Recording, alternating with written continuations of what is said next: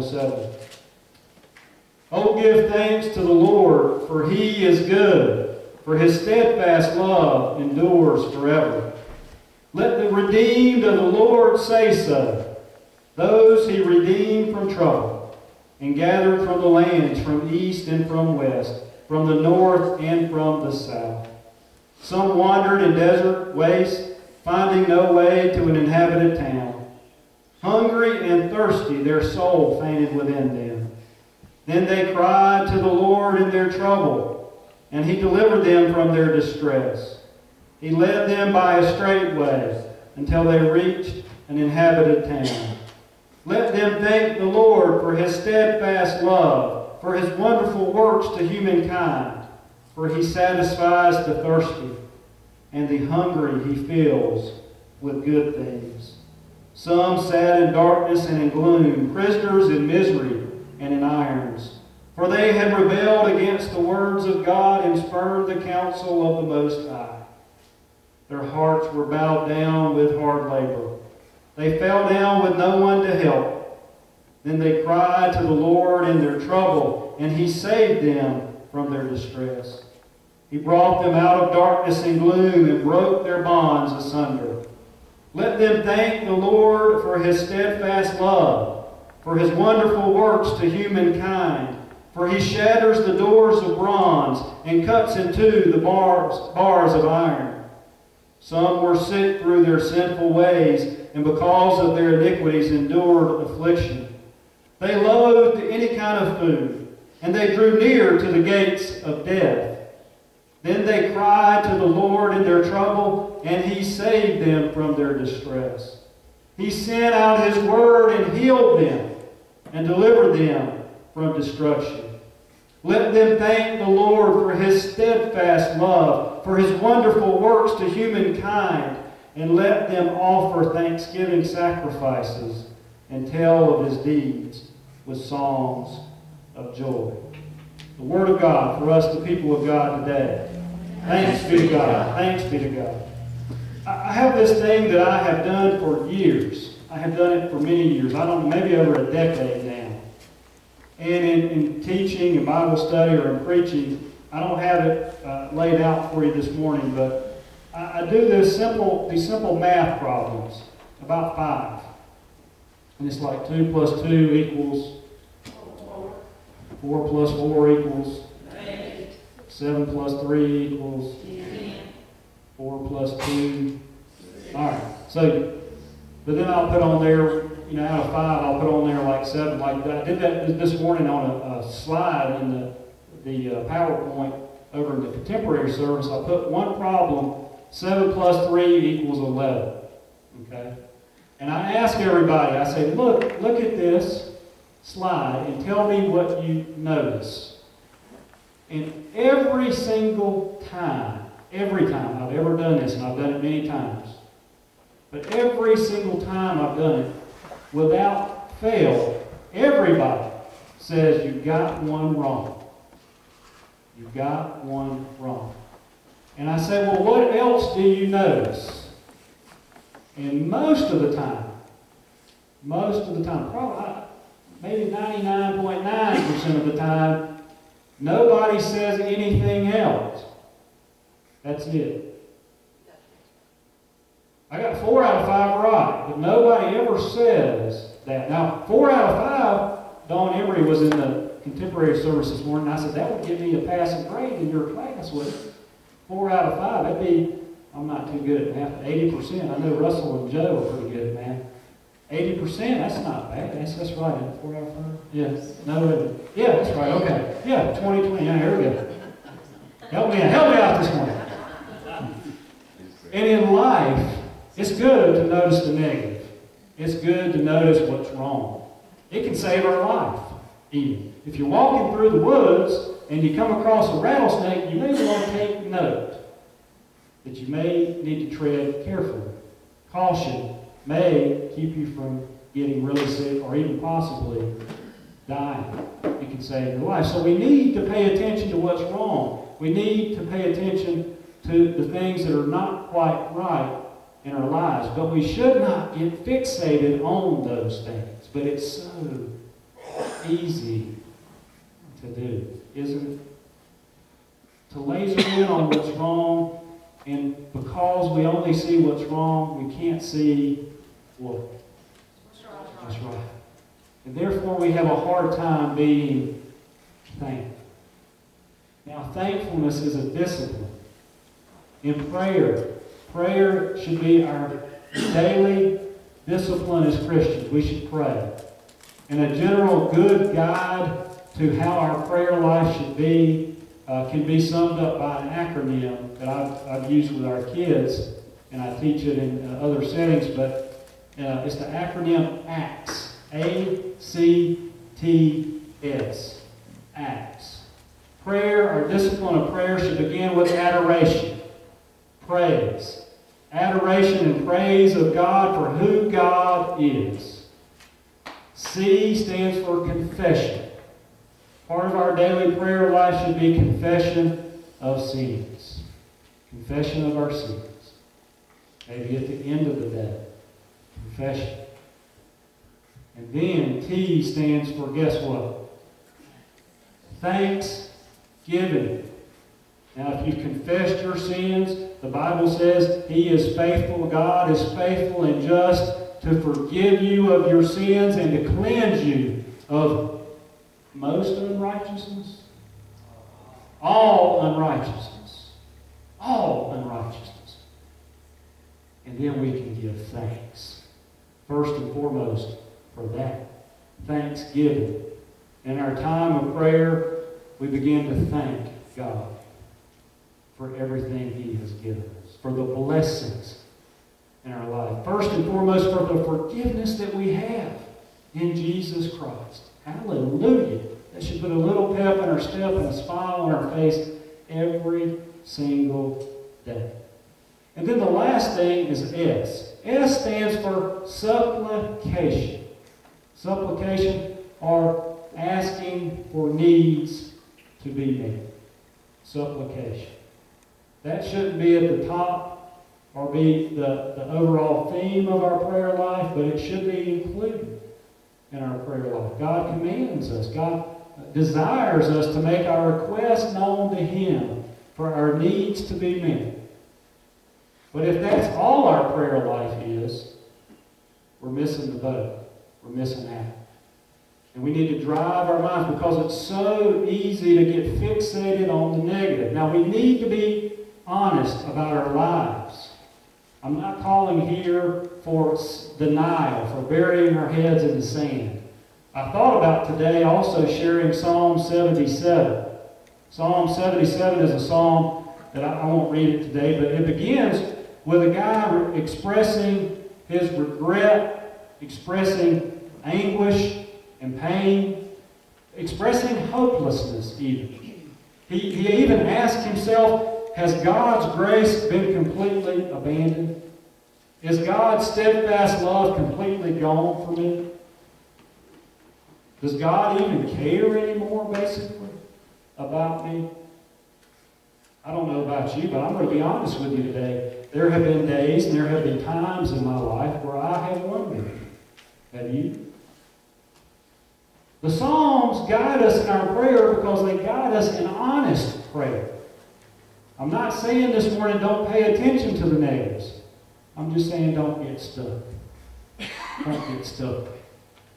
Pay attention to what's right, but be honest about what's wrong. Then that can drive either confession, confession of sins, and supplication, where we begin to ask God to help us in those areas that are wrong. But let's not get stuck there. Let's remember. Because in that Psalm 77, after he goes through this whole list and litany of things that are wrong in his life and wondering if God even cares anymore, basically, wondering if God's steadfast love is gone forever, he then, he says, Then I remember. Then I remember. In prayer, we have to drive our minds to remember God's faithfulness, God's blessings, God's mighty acts in our lives. And when we drive our minds to specifically remember those things and to praise God for those things and to thank God for those things. Often I have found in my own personal prayer life, and you may have too, that when we do that, then the heaviness begins to lift. The, the, the, the bars of iron become broken.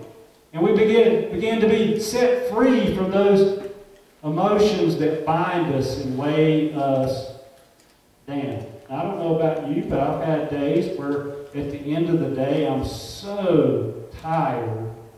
And not just from physical exhaustion, but many days from emotional exhaustion. From just weariness. Even sadness and depression at times. And I get in the shower and I just put my head against the wall.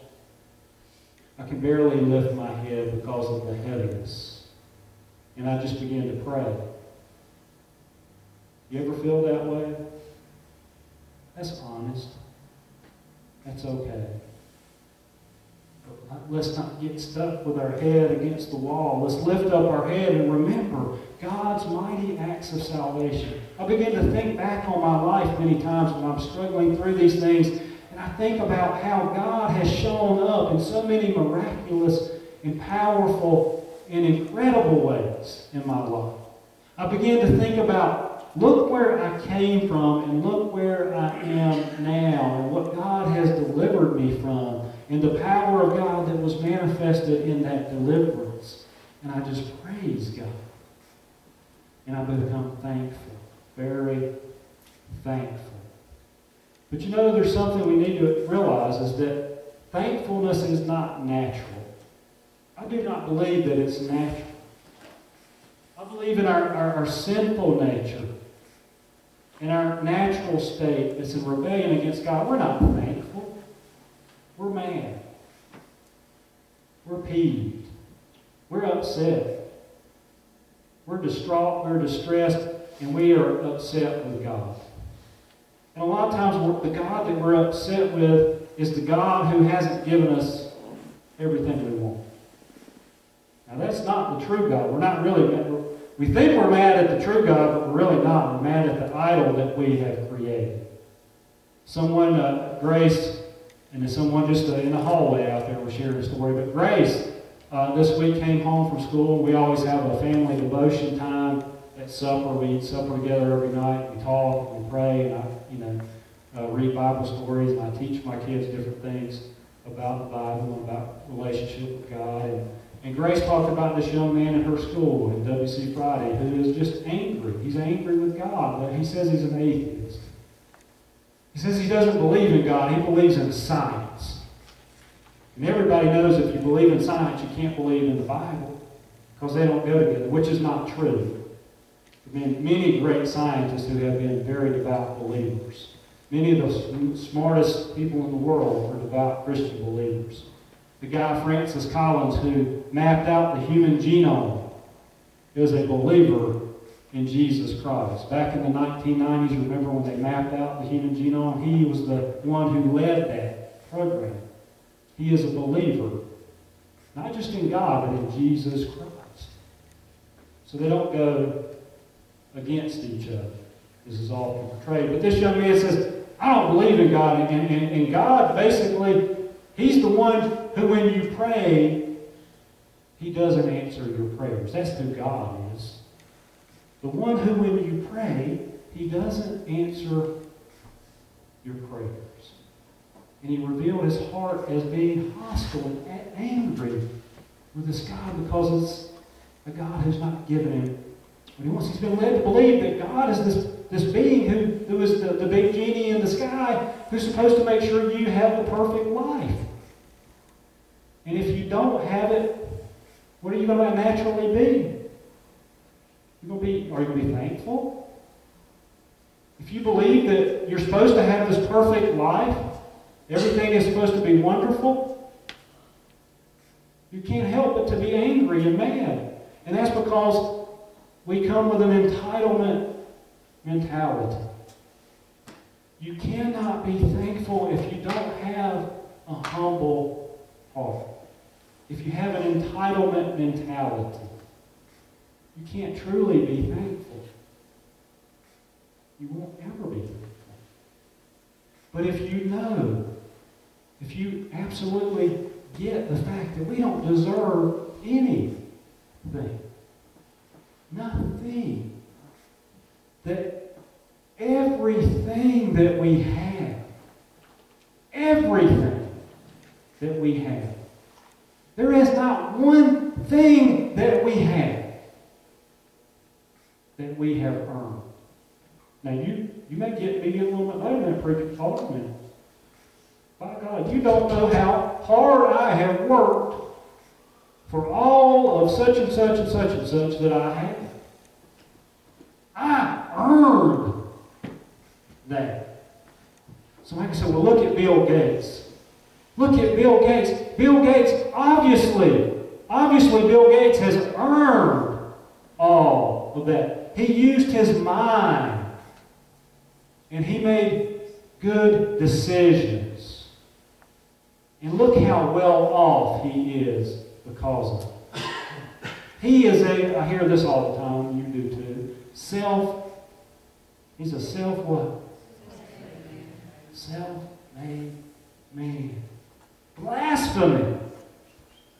Uh, Renee, malarkey. She, she hasn't heard me use the word malarkey lately, so she got she got on to me a couple of weeks ago. She's been waiting for me to say malarkey for weeks now, and I haven't said it. She said I, I thought something was wrong.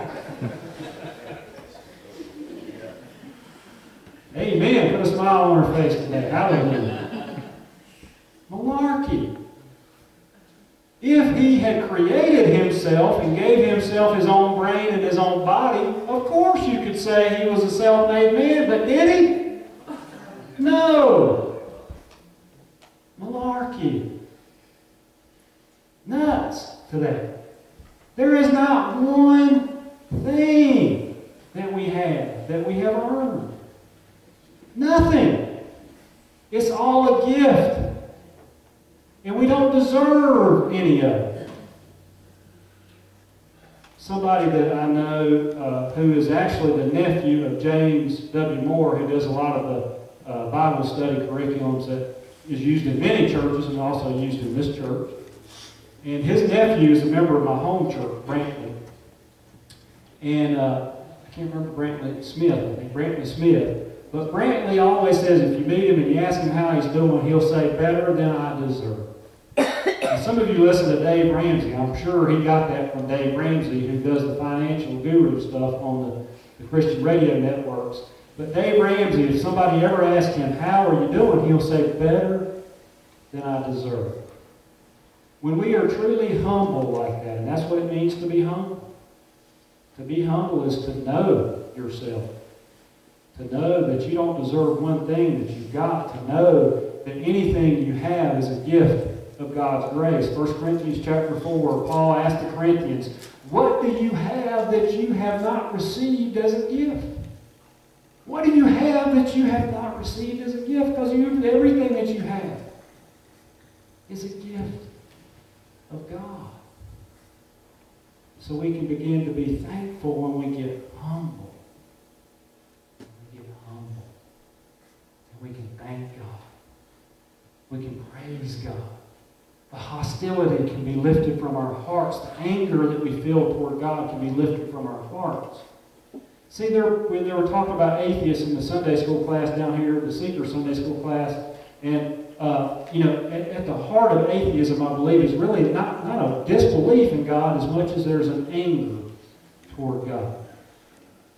C.S. Lewis said, looking back on his life, and C.S. Lewis was one of the most prolific Christian authors of all time. He wrote many different things from a Christian perspective. He gave his life to Jesus Christ. He was born again. He was changed. He was transformed. And he became a great spokesperson for the Christian faith. He wrote back in the 40s and the 50s, and we still enjoy many of his uh, works today. Many of our kids enjoy his works today the Chronicles of Narnia, and The Lion and the Witch and the Wardrobe, all written from a Christian perspective. But C.S. Lewis looked back on his life when he was an atheist, and he thought how ironic it was that he was so angry with this God that he claimed not to believe in. When we want to be thankful, if we want to be thankful, we got to first be humble. Nothing that we have is anything that we have earned. Nothing. Especially not. Especially not eternal life. And we have that in Jesus Christ. We have that. God doesn't want anybody to perish. He doesn't want anybody to perish. If we if we will accept the gift, and it can only be a gift. You know, I often ask people, you know, when we begin, somebody just asked me about it a little bit ago, you know, do you believe we can earn salvation? And it's just, I mean, absolutely not. I don't, like I said, I don't believe we can earn anything. Really and truly. It's all a gift especially salvation. And I just asked, uh, how many people have own a house? Do you own a house? Raise your hand if you own a house. Uh, did you pay for it in two minutes? Did, I mean, some of you may be able to. Uh, most of us probably couldn't. Uh, how many, well, don't worry about it. Some of you have a house you still have to pay for, right? Uh, how long how many hours will you work to pay for that house? How many years will you work to pay for that house? Some 30 years? 30 year mortgage? And after 30 years, Russell, what do you have? House that needs a new roof. A house that needs a new roof. And maybe some new gutters. And new shutters. You have an old house. You have a house that gives you uh, a new, you have to go buy a new water heater. You got all kinds of stuff. That's what you, you, you work. Think about how hard you worked. And what do you got? Now compare that to unending joy, unending peace, no more pain, no more suffering. How hard would you have to work? How much could you do? How much?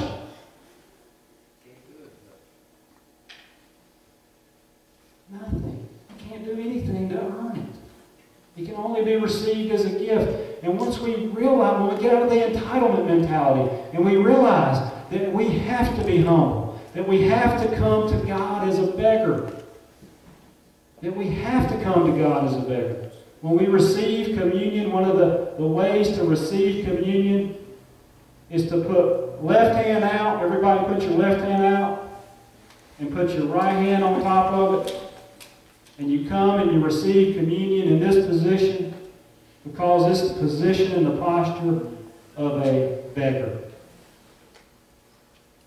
A beggar. And you can only receive it as a gift. And when you receive it as a gift, you receive Jesus Christ. And you are saved. You are changed. You are forgiven. You are transformed. You are set free. You are redeemed. And if you know that this morning, look, I, I've got to be honest with you. I mean, it's just, I don't think we really believe this stuff. Okay? I, I don't think sometimes we really believe. Because if you know today you got eternal life as a gift, you have forgiveness if you know that today. But what we be walking on air. Walking on air with a song, a new song in your heart. Singing praise to the Lord. Hallelujah. Thank God I am saved. I am redeemed by the blood of the Lamb. Hallelujah, I am redeemed. Praise the Lord. What a foundation for a glorious and wonderful life. A life for which we can be thankful and grateful. We have to drive our minds to remember to not get fixated on the negative, to not get stuck, thank God for all of our blessings. All of them. And there's more than we could ever imagine. Thanks be to God.